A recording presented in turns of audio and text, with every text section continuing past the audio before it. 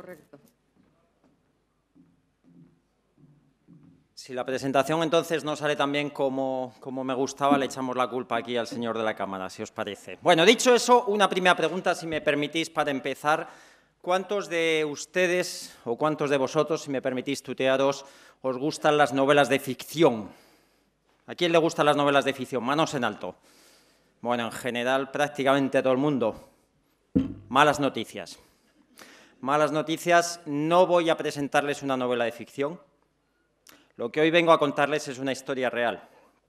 Es lo que está pasando en el sector papelero a nivel europeo y a nivel mundial, y por tanto hay poco de ficción, hay poco de cuento a la lechera, hay mucho de realidad. Con lo cual, si están únicamente interesados en historias de ficción, tienen, no me lo tomaré como algo personal, pueden dejar las salas. Si quieren seguir con nosotros, pues me encantará compartir con ustedes los próximos minutos.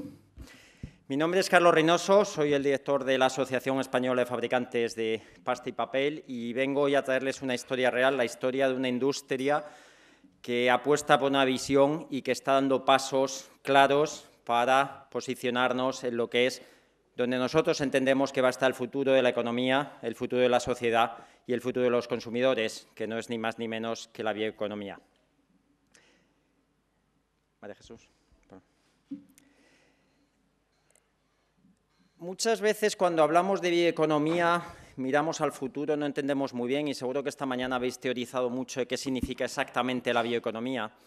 Eh, pero la bioeconomía de hecho nos rodea hoy ya. Eh, hay múltiples de los productos que usamos cotidianamente que, que, son bioeconomía en funcionamiento y el papel, se mencionaba antes, es el más claro ejemplo. Yo creo que es, que es un producto natural, es un un producto que nos envuelve día a día y que de alguna forma forma parte consustancial de, de nuestra vida. Hasta el punto de que si yo les pregunto cuántas veces han interaccionado con el papel desde que se han levantado esta mañana, ¿cuántas me dirían? Una, dos, cinco, han bajado a desayunar, tenían la caja de los cereales que por supuesto era en cartón, han cogido, igual tenían algo de moneda o de papel billete en su cartera, Seguro que eh, han ido al servicio o están a lo mejor constipados y han usado eh, estos eh, pañuelos, aquí están apuntando cosas en su libreta y podemos seguir y seguir y seguir y seguir. Y seguro que antes de que se acuesten esta noche habrán interaccionado un mínimo de 100 veces con distintos productos papeleros. Esto es una realidad que nos envuelve, es un producto imprescindible en nuestra vida y además es un producto que, que ha tenido pensando en lo que vamos a hablar luego, una enorme capacidad de reinventarse en el pasado, de ser capaz de atender a nuevas aplicaciones que los ciudadanos vamos desarrollando y que por sus propiedades y su versatilidad atiende hoy en día un infinito número de eh, aplicaciones como, como se muestra en lo que nosotros llamamos el reloj del uso del papel a lo largo del día. Esto es una realidad, esto es el presente. Vamos a hablar también un poco del futuro. Por presentarnos, Aspapel somos la asociación que representamos a las industrias que en España fabrican celulosa, a partir de madera, de pino, de eucalipto, fabricamos celulosa y esa celulosa la convertimos en infinidad de productos, bien sean papeles de envases y embalajes, bien sean papeles tisus y sanitarios, bien sean papeles gráficos, bien sean papeles especiales. De alguna forma estamos hablando de una cincuentena de empresas eh, con un fuerte motor tractor en España dentro de lo que es una amplia cadena de valor y que de alguna forma si pasamos la siguiente, pues tenemos cifras que yo creo que, que no son las del sector a lo mejor industrial del automóvil o el sector químico, los grandes sectores industriales o alimentarios de este país, pues somos un sector, yo creo, importante. Y además en el plano europeo jugamos un papel relevante. Somos sextos, séptimos, según como nos miramos. Eh, en reciclado, mucha de nuestra industria está basada en el reciclado. Somos los segundos después de Alemania que más papel reciclamos en España, porque tenemos, utilizamos mucho ese tipo de recursos. Con lo cual, bueno, pues yo creo que tenemos una industria potente, con conocimiento, con fuerza, con capacidad empresarial y de inversión, que, que tiene capacidad y aspiración a jugar un papel relevante en el futuro. Pero si yo creo que algo tenemos que entender es que la sociedad está cambiando y el contexto en el que nos vamos a mover y vamos a operar en el futuro va a ser radicalmente distinto. Hay algo que yo creo que ya muy poca gente niega, que es el cambio climático. Y el cambio climático dentro de las ambiciosas hojas de ruta que nuestros políticos han acordado, estamos hablando de que para el año 2050 nuestra sociedad tendrá que haber reducido sus emisiones de carbono en un 80%. Eso es básicamente descarbonizarse. Eso es básicamente dejar de utilizar materiales y combustibles fósiles. Y eso supone una auténtica revolución que van a cambiar a los actores, a quién hace qué y cómo hacemos lo que hacemos.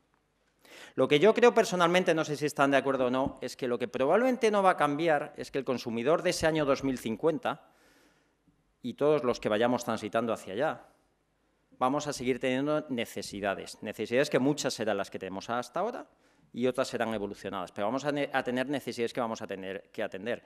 Y vamos a atenderlas principalmente con productos que respondan a este reto global que se llama la descarbonización. Y aquí es donde entran los productos renovables, basados en materias primas naturales, y estamos hablando de la fibra.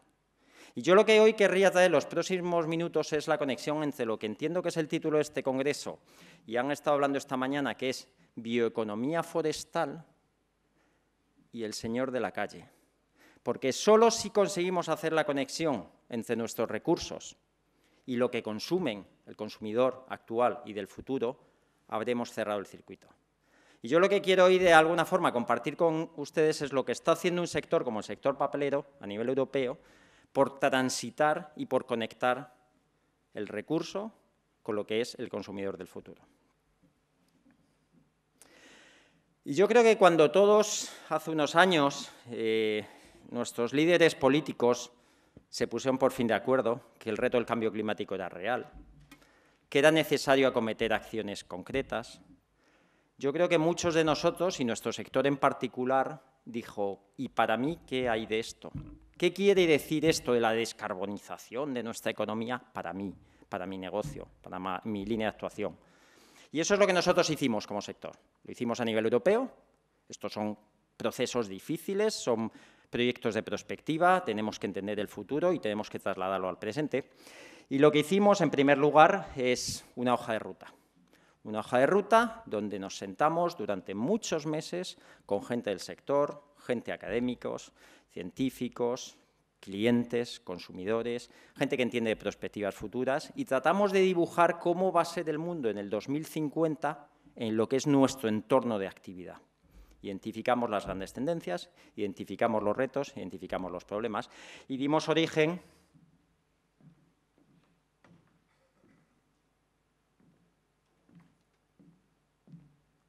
a esta publicación que está disponible en nuestra página web o no la pueden solicitar, donde de alguna forma pues, trazamos cómo va a ser el futuro y qué supone para nosotros, para nuestro sector, ese reto de la descarbonización en el 2050. Y básicamente nuestra conclusión fue que nosotros como sector tenemos y queremos jugar un papel importante en esa descarbonización. Y nuestro compromiso público que hicimos es que en el año 2050 nuestro sector habrá reducido sus emisiones en un 80%, en línea con el compromiso global de la economía. Pero claro, es muy fácil descarbonizarse si uno deja de producir. Cierro mis fábricas y se acabó, ya, ya, estamos todos descarbonizados. Pero nosotros lo que dijimos es que no, nosotros tenemos ambición de atender a las necesidades de los consumidores y de una manera creciente y cada vez más. Y lo que dijimos es que junto a ese objetivo de descarbonizarnos en un 80%, nuestro objetivo es incrementar el valor añadido en nuestros productos en un 50%. Queremos crear más valor a la sociedad, al consumidor, y queremos crear más negocio para nuestras empresas. Y este es el gran objetivo en el que ha dado origen a todo un enorme plan de actuación que hoy trataré de comentar las principales líneas con ustedes. Básicamente decimos, 80% de descarbonización. ¿Qué quiere decir eso? Bueno, y si me permiten girarme que no me sé las cifras de cabeza, estamos hablando de que en el año 990, en 1990, en nuestro sector a nivel europeo estábamos emitiendo básicamente unos 60 millones de toneladas de CO2, unos 15 millones en emisiones indirectas, 40 millones en emisiones directas y aproximadamente unos 5 eh, en transporte. Y nosotros lo que hemos hecho es una serie de modelos para ver dónde vamos a llegar en el 2050 para ese objetivo de menos 80% y dónde son las áreas sobre las que vamos a actuar para lograr esto. Y las principales conclusiones, sin entrar excesivamente en detalle, es que, uno, hay mejoras actuales con la tecnología actual que podemos ir implementando en nuestras fábricas, mejora de la eficiencia energética, sustitución de combustibles, ajustes finos, etcétera, etcétera. Eso nos va a dar unas ciertas mejoras que están ahí cuantificadas. Hay una segunda línea de actuación clarísima, que es que tenemos que básicamente electrificar nuestro aprovisionamiento energético y con renovables. Y hay una conclusión clarísima a la que llegamos, es que realmente para poder lograr ese objetivo tenemos que hacer las cosas de manera radicalmente distinta de como las hacemos hoy en día. Quiere decir, tenemos que aplicar tecnologías que hoy no conocemos, tecnologías disruptivas, porque con el estado de la tecnología actual nunca vamos a alcanzar estos objetivos. Y podemos decir, Buah, 2050, qué fácil es comprometerse a algo que vamos a estar ya todos muertos para esa fecha. Pero la realidad es que para tener en el 2050 tecnologías disruptivas en nuestras fábricas funcionando y produciendo, esas tecnologías tienen que estar hoy identificadas y en los próximos 10-15 años prácticamente operativas. O sea, que no pensemos que estamos hablando de procesos a muy largo plazo, porque realmente estamos hablando casi, casi de pasado mañana. Y la cuestión es, ¿y cuáles son esas tecnologías disruptivas? Pues nosotros lo que hicimos después del 2011 o a partir del 2011, donde indicamos esa hoja de ruta, fue decir, pongamos a trabajar a los más sabios. Hicimos un proyecto, yo creo que fue muy innovador en, en metodología y que la verdad es que atrajo mucha atención internacional, porque básicamente hicimos dos equipos, diez personas en cada equipo, equipos en los que captamos científicos, gente de la industria, gente que sabía de tendencias de consumo, que de alguna forma en dos equipos que trabajaron durante un año de manera paralela y competitiva y sin comunicación entre ellos, propusiesen lo que desde su punto de vista eran los 10 conceptos más prometedores para contribuir al, al objetivo de descarbonización. Y este fue el proyecto Two Teams, dos equipos que compitieron entre sí, que al final del año hubo un jurado en el que de alguna forma evaluó las ideas a nivel de conceptos, estamos hablando puramente conceptos, que identificaron estos dos equipos que compitieron y que dieron origen pues, a la segunda publicación que hoy les compartía y que la publicamos en el año 2013. Y básicamente estos dos equipos, ¿qué hicieron? Pues lo primero que se dieron cuenta es lo que nos enseña la vida, que no hay nada mejor que copiar. Ya no lo decían en la escuela. Al final muchas de las soluciones que podríamos aplicar en nuestros procesos existen ya en otros sectores industriales. Existen en la naturaleza, existen en distintos entornos y es tan sencillo como identificarlos y buscar su aplicación en nuestros sectores. Y estos, dos equipos lo que hicieron durante ese año de trabajo es visitar industrias del acero, del sector químico, del sector textil, estuvieron estudiando cómo se comporta la naturaleza en algunos procesos determinados y a partir de ahí extrajeron e identificaron conceptos y elementos singulares. Y el resultado de eso fueron 10 conceptos que son precompetitivos, de alguna forma no estaban ni mucho menos disponibles para aplicarse el día siguiente, que pueden realmente revolucionar nuestro sector, tienen esa capacidad, son absolutamente disruptivos, la mayoría de ellos, que pueden evidentemente contribuir al proceso de descarbonización, porque es hacer lo mismo, pero de una manera radicalmente distinta, con menos consumo de energía, de emisiones de CO2, etcétera, que puede crear mayor valor, porque nosotros queremos innovar, queremos crear productos de mayor valor añadido, pero que la realidad es que estaban, como se puede decir, muy verdes en el momento de la identificación había por delante mucho trabajo para hacerlo realidad. Y esto es básicamente como hacemos actualmente. ¿eh? Algunos de esta sala, y estoy viendo aquí a Juan Carlos, sabéis mucho de lo que es el sector, cómo se fabrica la celulosa y el papel. Bueno, esto es básicamente como cómo fabricamos el papel y la celulosa actualmente a nivel mundial. Pero para cada una de estas etapas, bien sea fabricación de celulosa, bien sea la máquina de papel, bien sea los manipulados, bien sean los secados, bien sean los circuitos de reciclado, bien sea la integración de las plantaciones forestales, esos equipos identificaron ideas. Ideas que en distintas etapas del proceso suponen tecnologías y conceptos absolutamente disruptivos para hacer lo mismo, pero con conceptos absolutamente distintos. Y uno, por ejemplo, veis por ahí algo así como un delfín, ¿no? Bueno, pues esto es simplemente, resulta que lo que sea es, esto, esta gente descubrieron o identificaron que los delfines, pues alrededor de su cuerpo, crean como una película en la que el agua no contacta con el cuerpo y eso les permite avanzar a la velocidad que avanzan cuando están nadando. Y ese concepto aplicado a la fabricación de papel, de cómo se desliza la hoja sobre lo que es la superficie del agua, es, por ejemplo, uno de los conceptos, ¿eh? yo no, no, me, no, me, pidan más detalles, pero que de alguna forma de estas cosas es de las que estamos hablando. Y a la izquierda está el concepto que en su momento fue el concepto ganador entre todos los que aplicamos, por favor, que es el concepto de los Deep eh, Solvents, que es básicamente... Eh, ¿Hay algún científico que sea aquí capaz de explicarnos un poco de qué va esto? Yo no, pero bueno, hasta donde yo entiendo es básicamente tratar de mimetizar en un proceso industrial un proceso que se da naturalmente en las plantas y que de alguna forma lo que nos permitiría es disolver lo que es la madera para separar lo que es la celulosa de la lignina, de la hemicelulosa, en un proceso que en vez de como ahora lo hacemos con mucha energía, procesos químicos, presión, etcétera, hacerlo de una manera mucho más suave, mucho más amigable, con enormes reducciones en el consumo energético, de emisiones de CO2, etc. Este tipo de conceptos es de lo que estamos hablando.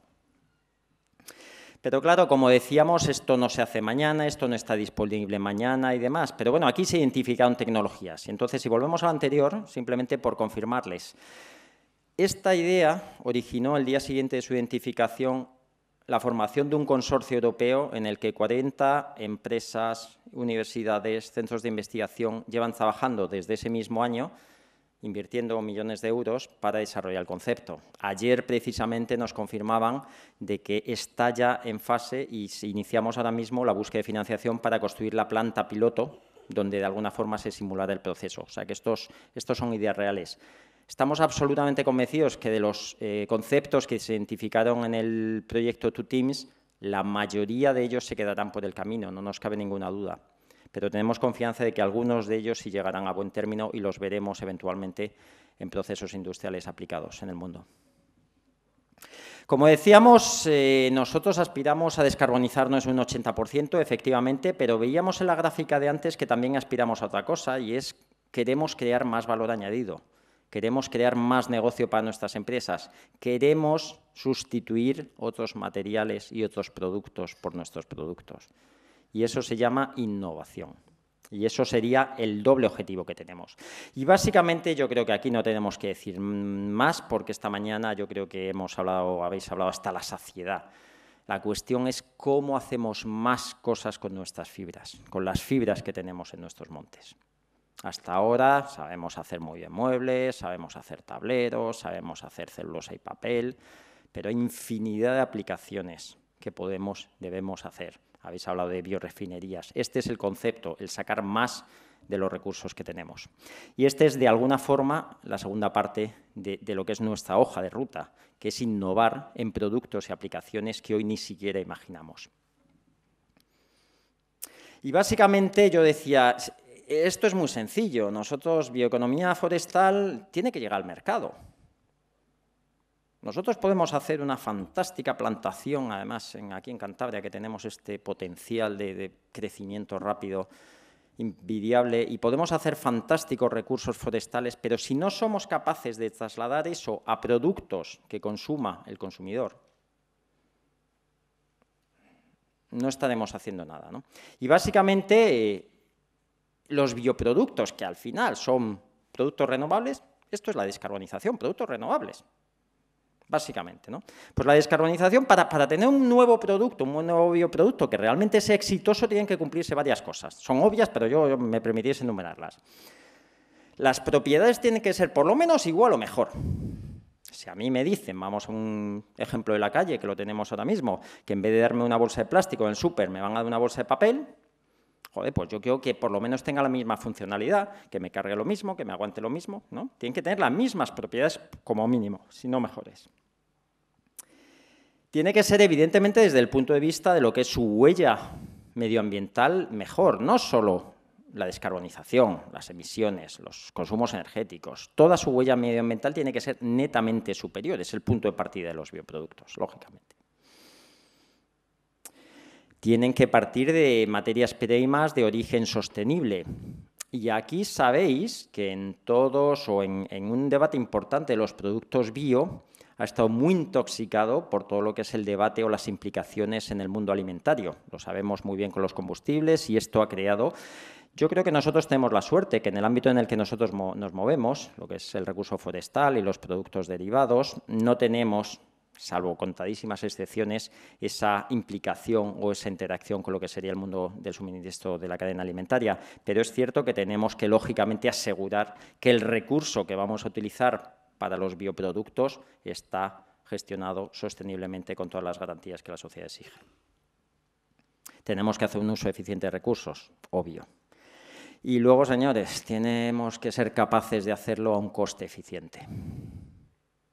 Muy pocos consumidores van a sustituir un producto fósil que puedan estar utilizando ahora, salvo que la alternativa bio que le pongamos en el mercado sea al menos de un coste similar o muy cercano las cosas son así, con lo cual la capacidad no solo es saber hacer las cosas, sino tenemos que saber hacerlas a unos costes que sean competitivos con su alternativa fósil que tenemos ahora mismo en el mercado. Y nosotros lo que hicimos como tercer ejemplo de nuestra ruta fue ya en el año 2015 publicar la tercera publicación de la serie, que no es ni más ni menos que un catálogo de ejemplos de bioproductos que hoy ya tenemos en el mercado y tenemos ejemplos de envases inteligentes, tenemos envases de materiales derivados de lo que son recursos forestales mediante biorefinerías que están sustituyendo el plástico como compuestos, o tenemos ejemplos de materiales que ya se están haciendo que están utilizándose en la fabricación de automóviles, o estamos hablando de, estamos hablando de, estamos hablando. Hay un largo catálogo de ejemplos reales que hoy en día están en el mercado o están prácticamente entrando en el mercado que de unas empresas u otras a lo largo de Europa están ya poniendo bioproductos sustitutorios que cumplen esos requisitos que mencionábamos antes de contribuir a la descarbonización, ser competitivos, costes, bla, bla. Porque al final esto se trata de, de, utilizar la fibra, y utilizarla más, y utilizarla mejor, y hacer cosas que hoy ni siquiera sabemos hacer pero que ya muchas de ellas son realidad. Esto es lo que yo les decía, si aquí pensaban venir a escuchar una historia de ciencia ficción y una novela de fantasía, no. Esto es realidad, esto es lo que está sucediendo ya. Y sí es cierto que como siempre que hay un cambio en tendencias en mercados y en producciones, hay empresas que son más punteras, más innovadoras y otras que están más apalancadas en lo que ha sido su modelo de negocio histórico. Bueno, Esperemos que en el futuro haya espacio para todos, pero si no, lógicamente, pues aquellos que innovaron antes y mejor serán los que ocupen los nichos de mercado. Y básicamente, hasta ahora, les decía, en el 11 hicimos la hoja de ruta, en el 13 hicimos el proyecto Two Teams para identificar las tecnologías rompedoras, en el 15 hicimos un amplio catálogo de bioproductos ya en el mercado. ¿Y qué hemos hecho el año pasado y estamos prácticamente lanzando? ¿Y esto cómo? Y esto como lo que dijimos, esto cuesta mucho dinero, que es lo que están pensando aquí todos en la sala y nadie lo ha dicho hasta ahora. Pues sí, efectivamente esto cuesta mucho dinero. Y nosotros lo que hemos hecho, porque determinamos, identificamos claramente que el cuello de botella de todo este proceso va a ser la financiación. Estamos hablando de que este proceso le va a costar al sector en Europa 40.000 millones de euros. Eso quiere decir que tenemos que incrementar nuestros ratios de inversión en un 40% todos los años de aquí al 2050, si queremos ser capaces de hacer estos desarrollos. Básicamente estamos invirtiendo en la actualidad a nivel europeo 3.500 millones de euros en capacidades, modernizaciones, nuevos productos, etcétera. Como decía, 40.000 millones de euros requieren un sustancial incremento en nuestras inversiones. No es desbocado, ¿eh? estamos hablando de un más 40, sí es bastante, pero tampoco estamos diciendo que tenemos que multiplicar por 10 nuestras, nuestras inversiones. Y algunas cifras que nos dan una, idea de la dimensión. Aterrizando estas cifras de inversión en el sector eh, en España, bueno, estas son las cifras que hacemos en, Aspapel de, de, cuánto está invirtiendo las empresas papeleras españolas en nuestro país en la última década prácticamente. Bueno, yo creo que ahí vemos un, bache, una baja de inversiones importantes que todos asociamos a la crisis. Por cierto, nuestro sector en, los peores años de la crisis fuimos, yo, yo diría, de los que salimos en los periódicos, ¿no? Estos que la industria sigue produciendo, sigue manteniendo el empleo porque está exportando cada vez más. Bueno, nosotros fuimos de esos. Lo que sí sufrieron fueron nuestras inversiones, nuestras rentabilidades y nuestras inversiones. Tuvimos unos años de menos inversiones, pero sí es cierto que un poco ya con la salida, poquito a poco de la crisis, sí estamos recuperando niveles de inversión que casi estamos ya en niveles precrisis. ¿no? Estamos hablando que nuestro sector dedica a la inversión un 8% anual de su cifra de negocio. Un 8% de todo el dinero que ingresamos lo dedicamos a nuevas inversiones. Pero lo que la hoja de ruta nos dice es que o incrementamos esto sustancialmente en un 40% adicional o no vamos a llegar a ese proceso de descarbonización. Y básicamente no solo hemos, hemos identificado cuánto, sino también en qué. Y hay inversiones en las tecnologías rompedoras que decíamos, y hay mucha inversión en nuevo producto, desarrollo y comercialización de nuevo producto. ¿no? Y en esta publicación, que, insisto, también está disponible para todos ustedes, pues hacemos de alguna forma un poco repaso y cuenta de, de cuál es ese proceso inversor que tenemos que acometer. Y básicamente lo que llegamos a la conclusión es que una parte muy importante del valor añadido que queremos incrementar en nuestras ventas en el futuro vienen de la mano de nuevos productos. Muchos de los productos actuales son productos maduros.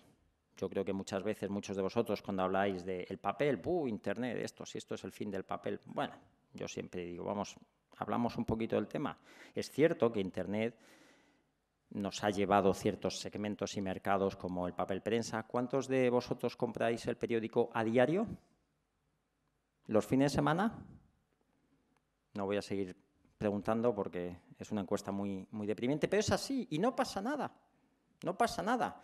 Porque ese mismo Internet que se ha llevado los periódicos en gran medida, ¿cuántos de vosotros compráis en Amazon o online, en Zara, en el Corte Inglés? ¿Cuántos de vosotros compráis online? ¿Comercio electrónico? Faltan manos para levantar. ¿eh? Es el mismo Internet las mismas revoluciones tecnológicas que cambian unos mercados te crean otros, si sabes aprovecharlos. ¿Y por qué digo eso? Pues porque todo lo que compráis en Internet, ¿en qué os viene? En cajas de cartón, ¿verdad? Sí, bien. Pues eso, es de lo que estamos hablando. Entonces, ¿el mundo va a ser diferente en el futuro? Sí. Pero hay grandes oportunidades para el que sepa capaz de aprovecharlas. Y la creación de nuevos productos es básico, lo que decíamos. ¿Nosotros queremos bioeconomía forestal? Sí. Pero nunca tendremos bioeconomía forestal si no somos capaces de crear bioproductos que aterricen en la sociedad que va a demandar bio, pero tenemos que hacer esa conexión. Y eso es de lo que va un poco toda esta estrategia. Y nuestros políticos en Bruselas también hablan de esto, y hablan de la revisión, están actualmente, de hecho, revisando la estrategia de bioeconomía. Y ojo, ojo sector forestal, que es cierto que estamos en mejor posición que nadie para comernos la bioeconomía a bocaos.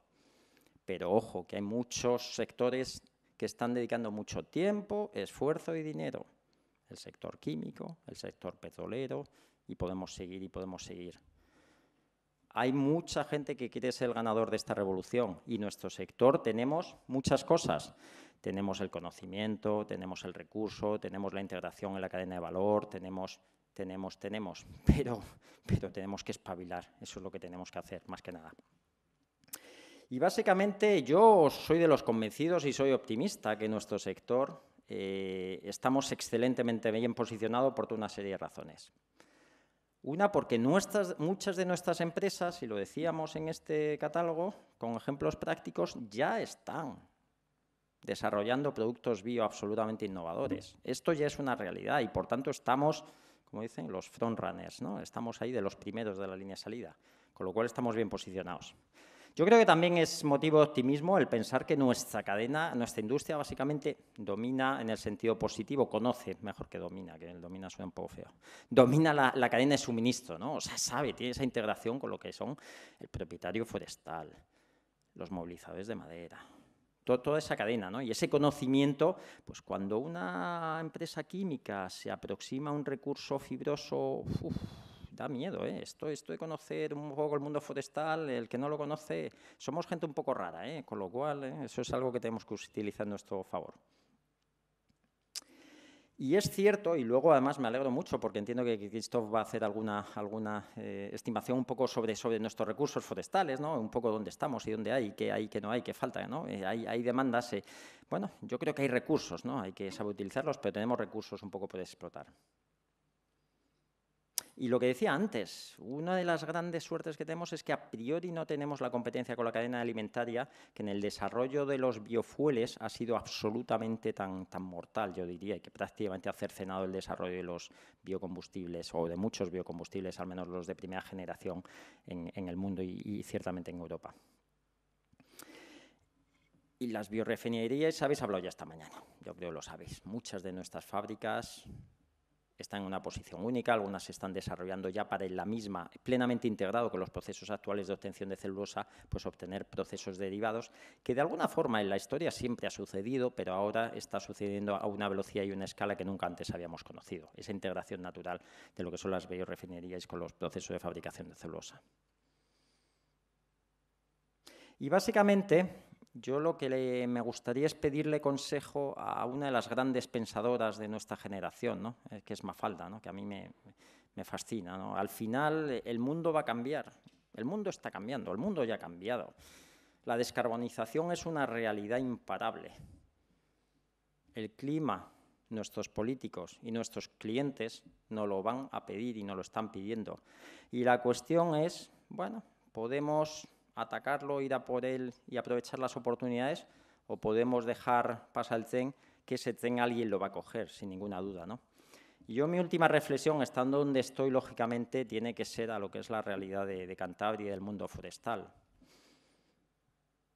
Esas condiciones inmejorables, envidiables que tenemos para generar recurso forestal de manera eficiente, creando riqueza en el mundo rural y que a veces nos enfrentamos a debates, yo creo que del pasado, con argumentos de demagogia y poco fundamentados que cuestionan nuestras plantaciones, el crecimiento rápido, el eucalipto y esto y lo otro. Yo creo que nosotros como, como, país, como comunidad autónoma, como sector, tenemos que claramente decidir si queremos ser parte de ese pasado, de esa demagogia, etcétera, o queremos ser parte del futuro, de la bioeconomía, aprovechar nuestros recursos, crear riqueza en el mundo rural, yo lo tengo claro personalmente y yo creo que, todos los que de alguna forma tengamos opinión en este tema deberíamos de probablemente decirlo más al exterior y no quedárnoslo solo para nosotros. Y con esto, muchas gracias por su atención.